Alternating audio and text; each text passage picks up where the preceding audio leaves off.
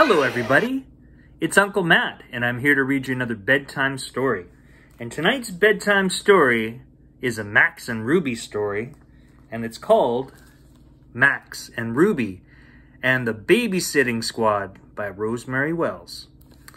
And this book was copyright in 2020.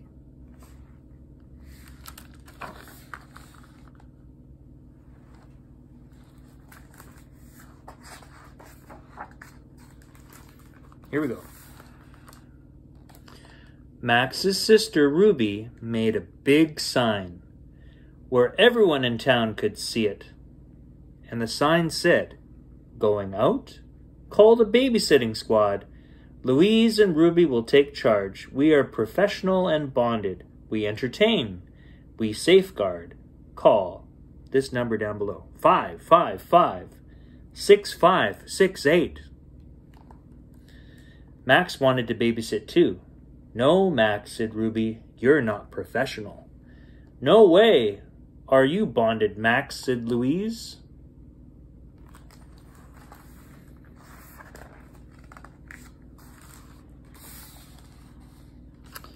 That night the telephone rang. Hello, said Ruby.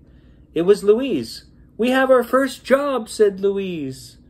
Mrs. Ward Dropper has a beauty appointment tomorrow at 9. She wants us to take care of Percy.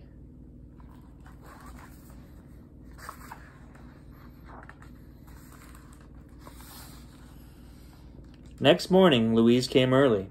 Ruby and Louise sped to number 12 Hickory Lane. Max brought his earth mover equipment along. You have to play with those in the backyard, Max, said Ruby. Ding dong went the ward dropper's doorbell. Percy opened the door in a skunk costume. hi, said Ruby and Max. Oh, hi, said Ruby and Louise. We're the babysitting squad. Goodbye, said Percy.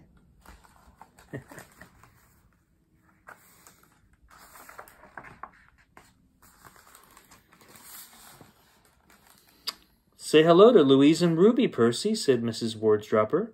I have a skunk stink in my outer space squirter, said Percy. Mrs. Warddropper gave Ruby, Ruby and Louise the hairdresser's number in case of emergencies. Then she was out the door.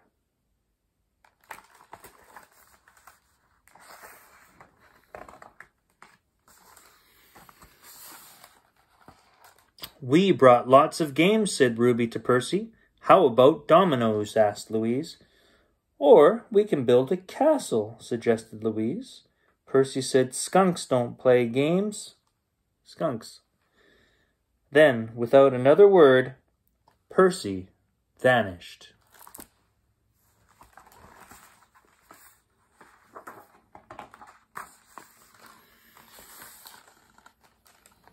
Ruby and Louise looked for Percy behind the shades and in the cupboards.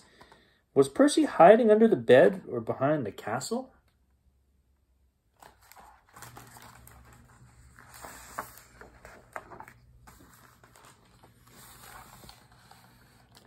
They even looked for Percy in the shower. Where is he? asked Louise. Oh no, losing the baby on her first babysitting job, said Ruby. Here comes the skunk stink, said a voice from a heating vent. It was Percy. A cloud of Vitamint mouthwash filled the air. He must be in the attic, said Ruby. Hmm.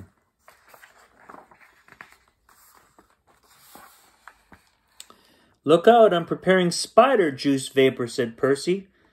Percy, come down for Chutes and Ladders, said Louise. We can play the xylophone, suggested Ruby. Louise served up graham crackers with grape jelly. How about setting up the cowboy village, Percy? said Louise. Out of the heating vent puffed a cloud of heavenly man aftershave.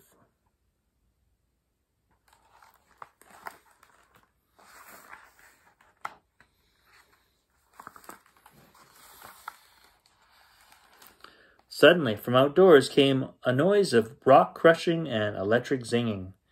Max's saw-toothed dirt bucketeer and his rock crusher were clanging and banging around the backyard. Percy stood at an attic window. Looking down below at the backyard, he saw it all. Want it, Percy yelled.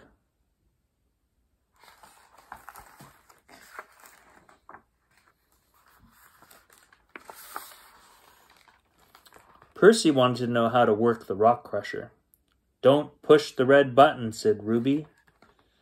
But Percy did push the red button. It went into the sling and fling gear.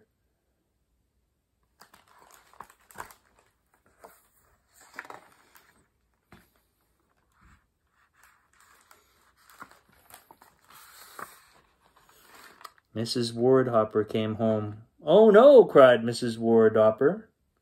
I can't tell who's who. Max had an idea.